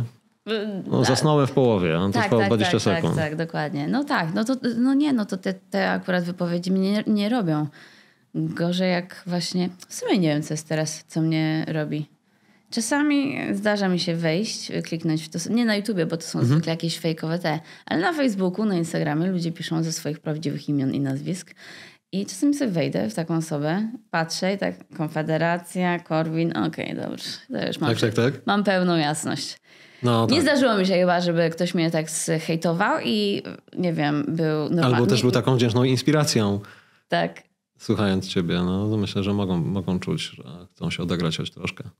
No czasami po prostu, wiesz, wypisują e, pod kościołem. Najczęściej, najczęściej triggeruje ludzi kościół w dalszym ciągu. Y, Seks kiedyś, tak. Te tematy, wątki seksualne wypisywali, że y, nie wiem, czy mogę przeklinać, czy będziesz to... Ojej. O! Ch- Chodzi o to, że wyzywali mnie od k***ów. Wiesz, tylko dlatego, że opowiadam o seksie, to jestem już k***ą. No bo wiadomo, że no, jak wystarczy opowiadać, żeby już, Żeby złapać łatę. No. żeby złapać łatę, więc to mocno zrigorowało ludzi, a teraz to chyba tylko Kościół. Raczej już Kościół. tam pod, pod y, seksualnymi treściami już takich nie ma.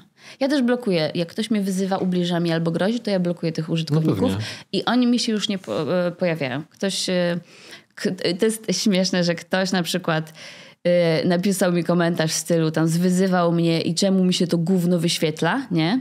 Ja go zablokowałam, żeby mu się nie wyświetlać. no pewnie. I on z innego konta do mnie napisał, o widzę, że nie masz dystansu do krytyki. No. Kumasz? Nie chciał, żeby mu się wyświetlała, ale Zawzięty typ. tak, tak. Chodziło właśnie o to, że, że czemu się to gówno wyświetla, ale tak naprawdę właśnie chcesz, żeby ci się to wyświetlało, bo chcesz, bo potrzebujesz się gdzieś wyładować, potrzebujesz... No bo kto normalny pisze takie komentarze? Jak mi się coś nie podoba, nie wiem, wyświetla mi się jakiś koncert, nie wiem, który nie jest w moim gusie, disco polo, tak? To ja w życiu nie napisałam komentarza, o mój Boże, jakie gówno, o mój Boże, kto tego ogląda. No bo to też jest specyficzna grupa ludzi, Bo którzy ja w ogóle wiem, że czas na ludzie to, żeby tego to pisać. słuchają, no nie? Mhm.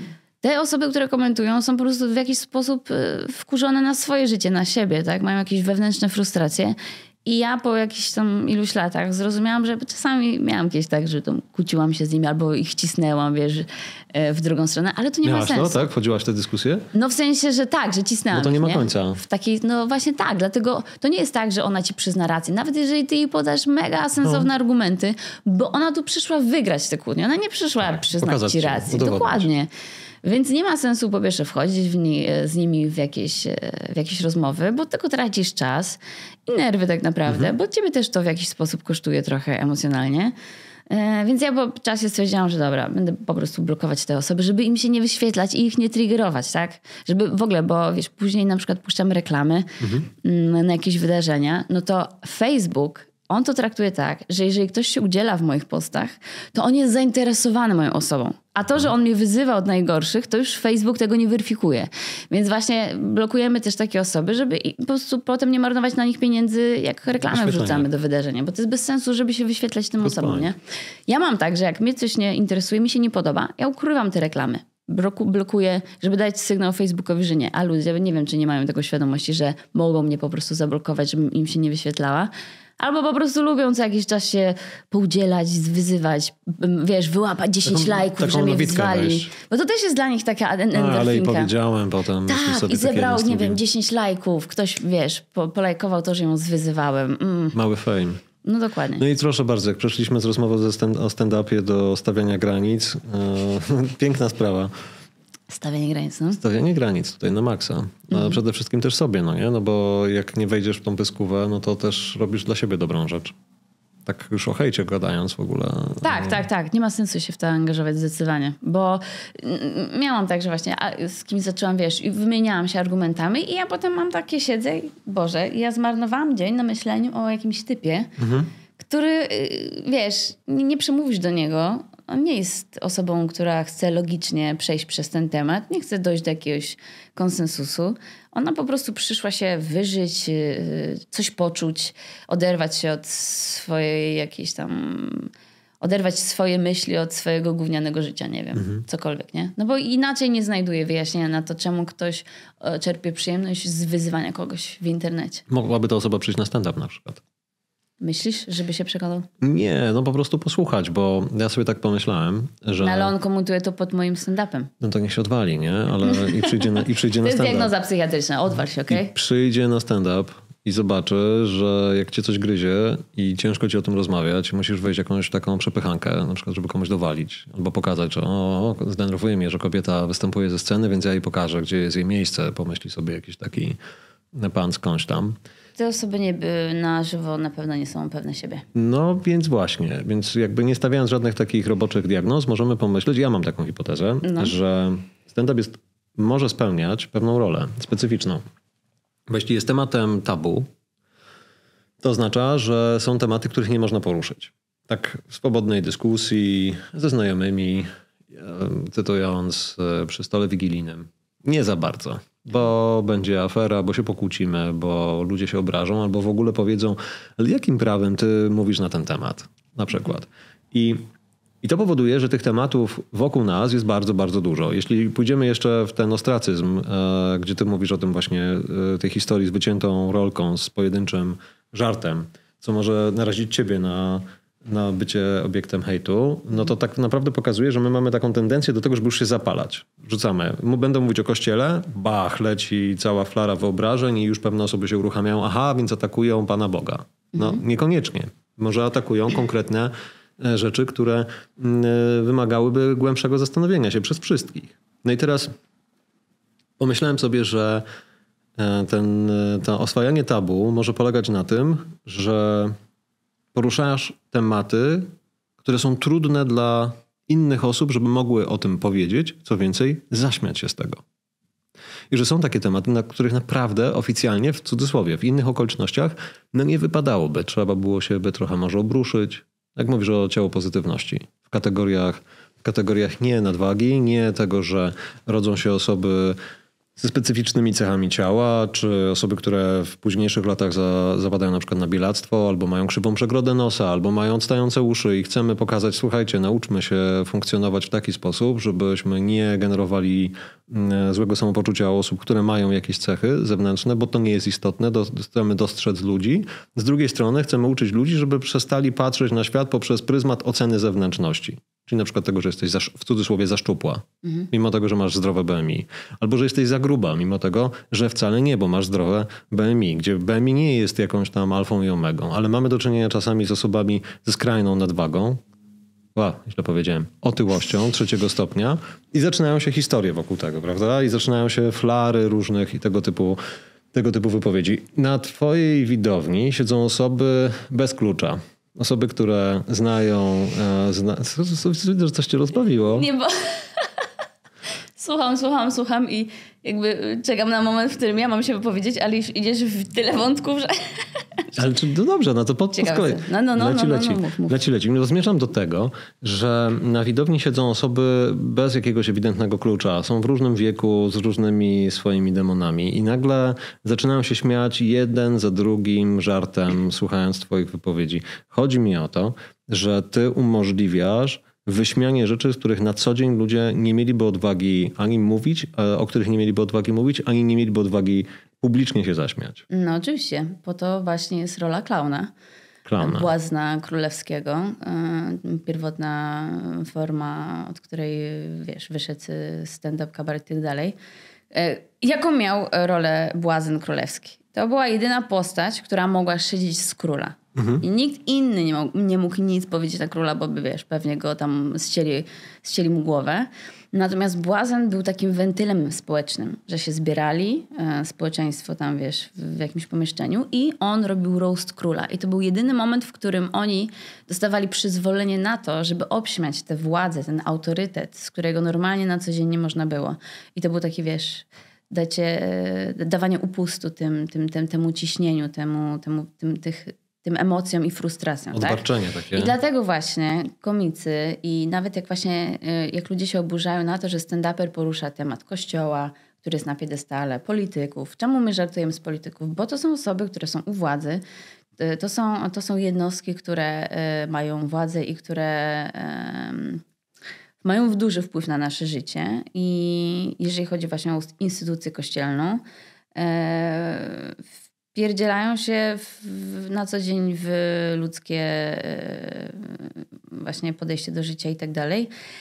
A z drugiej strony są stawiani na piedestale i e, w dalszym ciągu jest spora grupa, która uważa za mm, nie na miejscu w ogóle e, cokolwiek poruszać. Zobacz, nawet w obliczu tych ostatnich afer, które się na bieżąco wydarzyły w, w związku z Kościołem, orgie na plebanii i tak dalej, to w dalszym ciągu jest spora gru grupa ludzi, która uważa, że to jest atak na Kościół, jak ktoś to komentuje, wiesz? Mhm.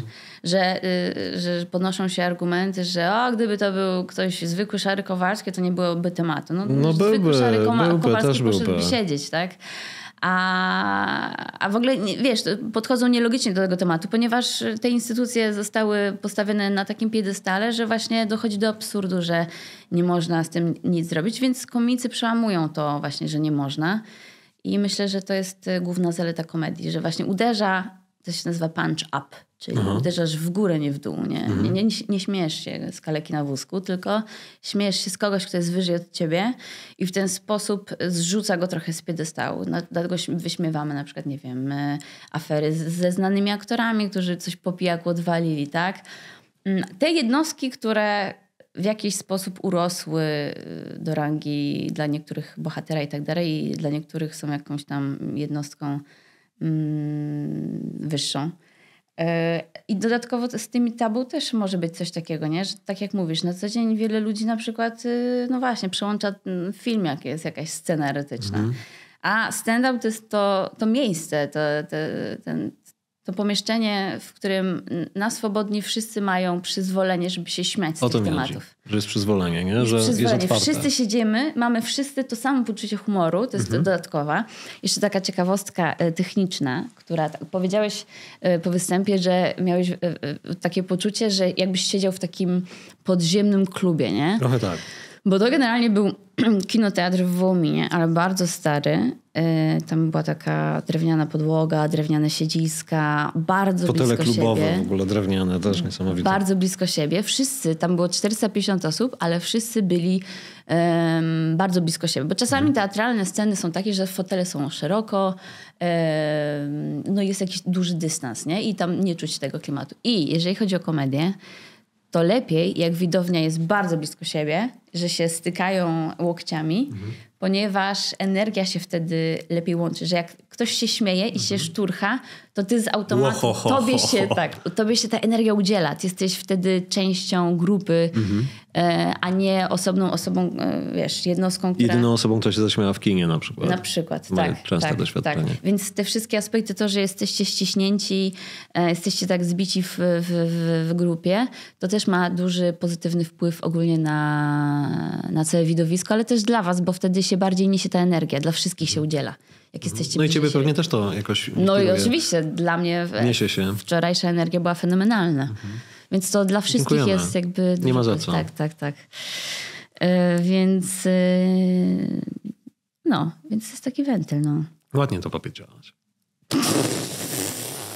Czekałem na ten moment. To jest insight, bo y, jak rozmawialiśmy prywatnie z Andrzejem, to Andrzej bardzo często rzucał takie teksty w stylu mm, dziękuję, że się tym ze mną podzieliłaś. I ja no i ty też to robiłaś. Ja próbowałam nawet też z tego, to robiłaś. Nawet z tego bit próbowałam zrobić, że właśnie powiedzonka terapeutów. No to branżowa. Że terapeuci to są tak samo emocjonalni e, ludzie jak my, tylko oni znają lepsze powiedzonka na swoje emocje, czyli Y, Jasno, to nie jest tak, że jakoś wyzywałem. Ja po prostu jasno ustawiłem grani- granice w relacji, okej? Okej.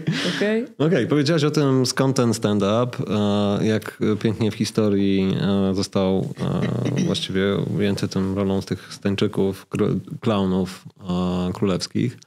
Mm, Tak, Jaka jesteśmy jest najważniejsi przyszłość? na świecie, co? Jaka jest Kto przyszłość stand-upu? Jaka jest przyszłość stand-upu? Jak no, ty to widzisz? Czy w ogóle jest możliwe, bo zaraz idzie z tym drugie pytanie, czy może się zdarzyć, że się skończą kiedyś tematy? Odpowiadając na pierwsze pytanie, myślę, że kiedyś stand-up, ludzie u władzy dojdą do rozumu i przestaną opodatkowywać stand-up. To na pewno, że nie będziemy musieli odprowadzać podatków z naszych wynagrodzeń, bo jesteśmy, można powiedzieć, zbawicielami. Ale jeżeli chodzi o drugie pytanie, to e, jakie było drugie pytanie? że może się skończyć tematy. Nie, Czy mogą myślę, się że nie. tematy? Myślę, że nie. E, Jak się patrzy na zagranicznych stand-uperów, czasami się podnoszą argumenty ludzi, którzy nie, nie znoszą wszystkiego, co polskie, w tym polskiego stand-upu. E, Ci polscy stand-uperzy to tylko jednym, gówno, a nie to, co za... e, Że tam jest lepiej? W USA jest oczywiście, że jest lepiej. I No bo to jest za granicą. a my oglądamy te zagraniczne No stand-upy pewnie. i oni, ja teraz nawet byłam na żywo na Elizie Schlesinger w Chicago i tam były takie same tematy, co w Polsce, nie? To jest niesamowite, że po tylu latach ym, dalej jest y, aktualny wątek kościoła, dalej jest aktualny wątek, wiesz... Y, ym, No polityka na pewno też. LGBT i tak dalej, więc ym, dalej są problemy aktualne. Tak długo, jak będą istniały problemy, tak długo będzie istniała komedia. Bo komedia jest właśnie po to, żeby sobie radzić z problemami, tak? Jak ktoś się oburza na to, że robimy żarty z jakichś poważnych problemów, to według mnie jest egoistą, ponieważ y, mm, czemu... Wiesz, jak na przykład ja robię żarty ze swoich chorób, nie? I ktoś się oburza, że ja w ogóle poruszam. Dla mnie to jest jakiś absurd, że ja robię żart z własnej choroby, a ktoś mi mówi, że ja nie mogę, bo to jest poważny temat. Czyli, jakby, czyli ty możesz sobie radzić z własną traumą tak, jak ty uważasz za stosowne, ale ja nie mogę sobie radzić poprzez żarty, tak? Więc myślę, że to jest po prostu spięcie dubska i egoizm. No ładnie. Znowu ładnie. Spięcie dubska i egoizm, moi drodzy. Wyjmijcie kije z dupy, co? Co? Co? Kto to powiedział? Nie wiem. Fajnie, Moja słuchaj. profesjonalna diagnoza. Czyli co, mamy, mamy jakąś formę. e, Ja nie, nie lubię określenia autoterapii, bo ono jest chyba po pierwsze mało, mało takie mm, zdefiniowane i też Tak? nie, nie do końca służy pewnie terapii, ale w jakiś sposób e, właśnie radzenia sobie. Bo, Mhm. bo tak jak radzisz sobie ze swoimi trudnościami, z jakimiś traumami, jak mówisz o tym, że prześmiewasz wątki dotyczące na przykład twoich chorób lub potencjalnych chorób, no to to jest właśnie to, to, co wybrzmiało i chciałbym, żebyśmy to podkreślali. To jest twoje absolutne prawo do tego, co robisz ze swoją prywatnością. Tym bardziej, jeśli robisz to, a z drugiej strony jest kontrahent w postaci widza, który, którzy kupują widzowie bilety i chcą przyjść i o tym posłuchać. Ale jestem przekonany, że w tej transakcji jest właśnie ta korzyść po stronie widzów, że oni dzięki temu mogą też nabrać dystansu do pewnych rzeczy, do których wcześniej było im trudniej nabrać dystansu. I to są, to są fajne rzeczy. Um, co ciebie martwi, jeśli chodzi o przyszłość komedii? Raczej nie, nie mam czegoś, co mnie martwi. E, o, chyba, że dojdzie do władzy jakaś partia, która stwierdzi, że... Delegalizacja, potrójne Słuchaj, opodatkowanie miałam taką sytuację, że występowałam w teatrze. I to jest ten moment, gdzie jedziemy z kwasami. Jelenia Góra, moi drodzy, Teatr Norwida. Powiedziałabym z nazwiska dyrektora, ale kurde nie znam. Zgoogluję na sobie potem. Powiedziałabym. Występowałam w tym teatrze. Piękne miejsce, fenomenalna obsługa. Wszystko super, no elegancko. Dwa występy sprzedane, super energia. I co? I po występie dostajemy informację, bo jeszcze po mnie miała być Magda Kubicka. Aha. Już mieliśmy tam sprzedane 150. Mówię my, bo Magda jest u tego samego menadżera co ja. Było tam, nie wiem, prawie 200 biletów sprzedanych. Wiem, że jeszcze Socha miał tam być. I nagle dostajemy informację, że rezygnujemy, zamykamy się na stand-up, nie? że nie odpowiada nam taka rozrywka. Okazało się, że e, oni nam to w ogóle wyjaśnili w taki sposób, że, mm, że ktoś z miasta, a jak mój menadżer się informował e, w mieście, to oni dostali informację z, z teatru, że, że nie, że oni, teatr po prostu zgłosił do miasta, że organizator sam zrezygnował. Więc mm, tam generalnie było ileś wyjściówek, czasami się tak zdarza, że teatr dostaje ileś wyjściówek dla siebie i to ma po prostu zawsze Do w dyspozycji. umowie.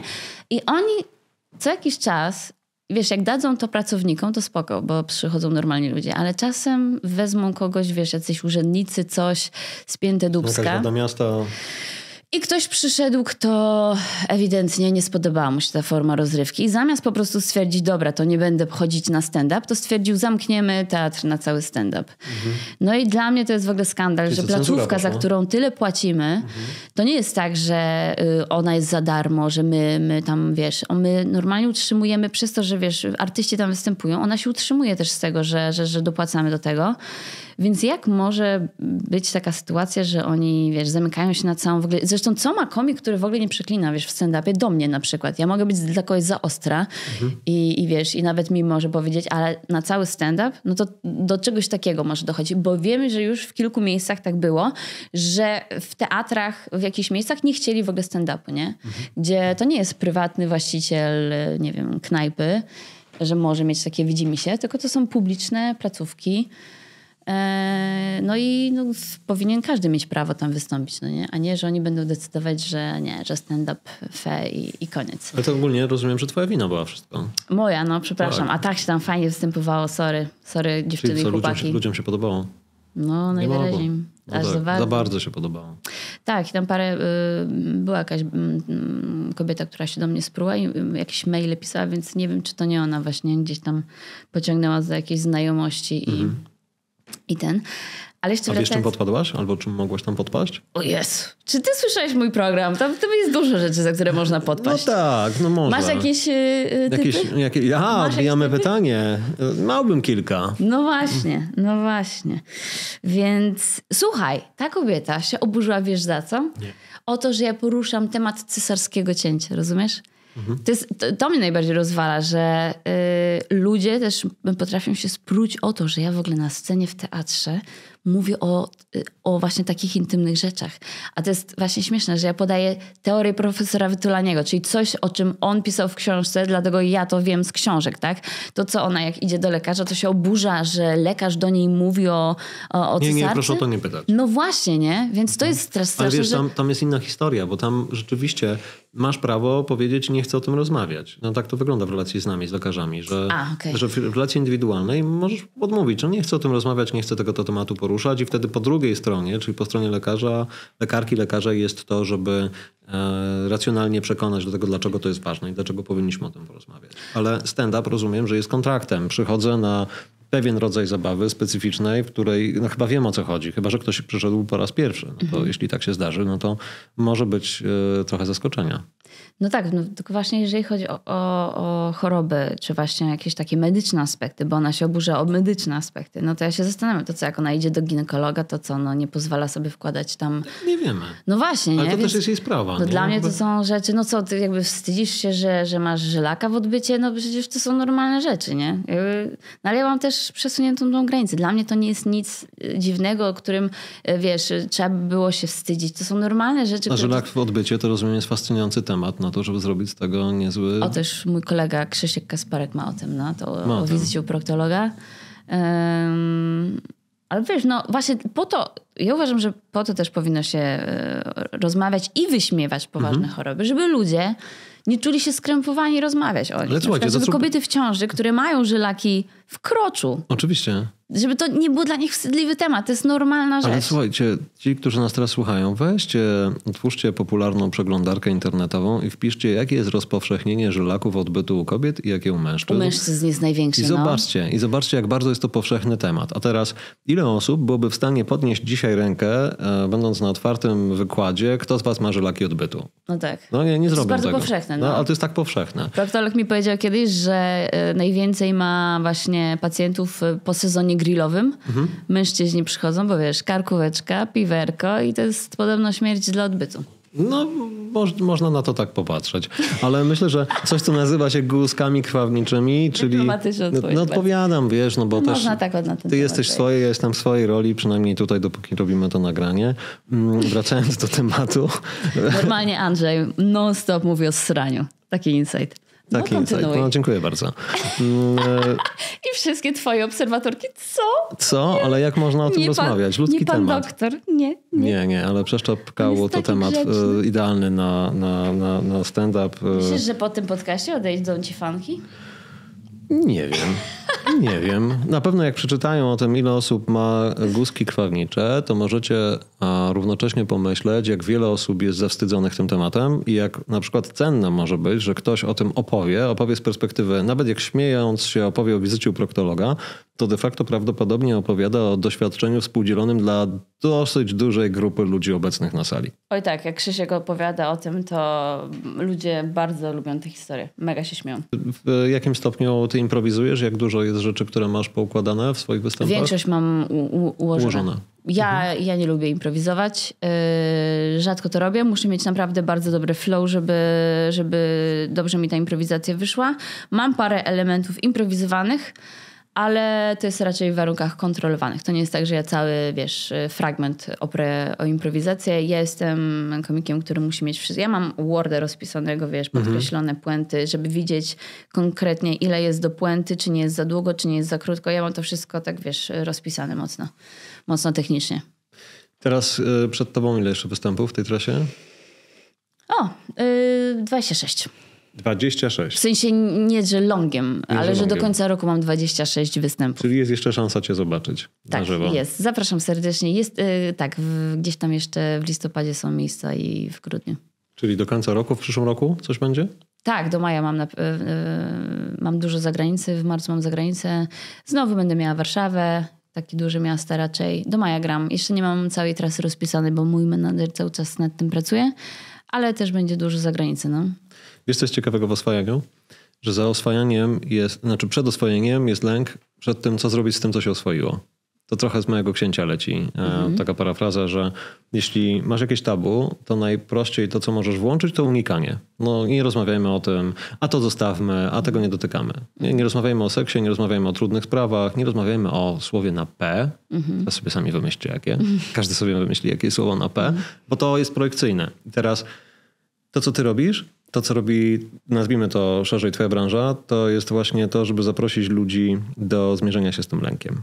Tak sobie wyobrażam, że jak zmierzycie się z tym lękiem i pójdziecie posłuchać e, między innymi Olki na żywo, Przede wszystkim nie. przede wszystkim, oczywiście, e, i, a potem będziecie głosowali e, za tym, żeby zwolnić stand-uperów z płacenia podatków, no bo, Dokładnie. no tak, bo nędza tym- przecież, nie, no to trzeba tak. to jest to niepowtarzalna okazja do tego, żeby zmierzyć się ze swoimi tabu, a na pewno w tych 90 minutach występu znajdziecie przynajmniej jedno takie sobie bliskie, a potem zadać sobie pytanie, ok, to skoro tak jest, bo, bo to jest jedna z częstszych, myślę, że refleksji po występach twoich, gdzie człowiek sobie zada pytanie, no kurde, to było śmieszne, ale w sumie no jest w tym bardzo dużo rzeczy, które są, są prawdą. Ja muszę się zastanowić, mogę się zastanowić, to jest lepsze. Jeśli będziecie chcieli, doświadczcie tego. Ja Ci bardzo dziękuję za tą rozmowę i za przybliżenie ludziom tego, czym jest stand-up. Dzięki bardzo i nie wiem jak mam zakończyć. Nie spodziewałam się, że tak szybko zakończymy. Tak szybko. Słuchaj, to było tyle, ile Twój występ. 90 Naprawdę? minut. 90 minut? 90 Coś na minuta. Tak.